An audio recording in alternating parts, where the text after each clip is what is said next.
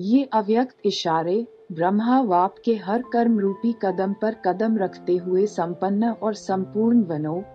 तीन, जैसे ब्रह्मा बाप इतनी बड़ी फ़र्स्ट अथॉरिटी होते हुए भी कितना सहन किया।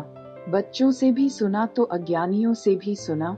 इन सिर्फ़ सहन की, सब कुछ सहन कर परिवर्तन किया। ऐसे फॉलो फादर करो। संगठन में सहनशीलता का गुण धारण करना बहुत ज़रूरी है। अगर कोई एक के लिए कुछ बोलता भी है तो दूसरा चुप रहे। इसमें दस बारी सुनने की हिम्मत चाहिए।